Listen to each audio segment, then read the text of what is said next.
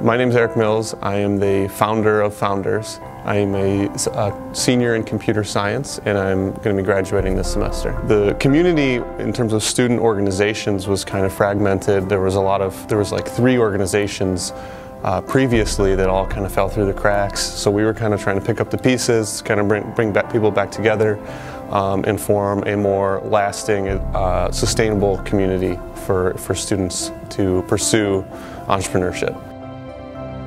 So one of the events is 54. It's a starting companies in a weekend. Everyone gets together and pitches ideas and tries and execute and makes a company. We're also doing an event called Idea Share.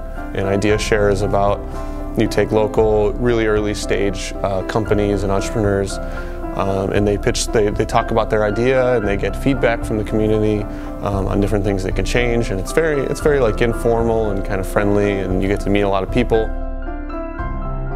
Before I started Founders, it was kind of, entrepreneurship to me was kind of just within the university.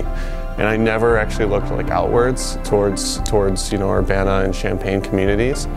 And when I started Founders and we did Idea Share at the CoLab and I got to meet all those different people that were in the community that was like totally awesome people and they loved entrepreneurship, that, that I never knew was there before.